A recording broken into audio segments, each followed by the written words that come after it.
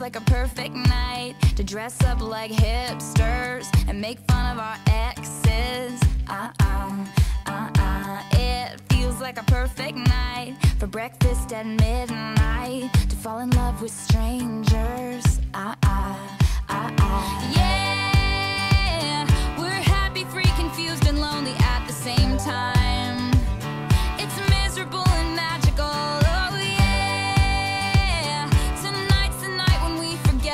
the deadline.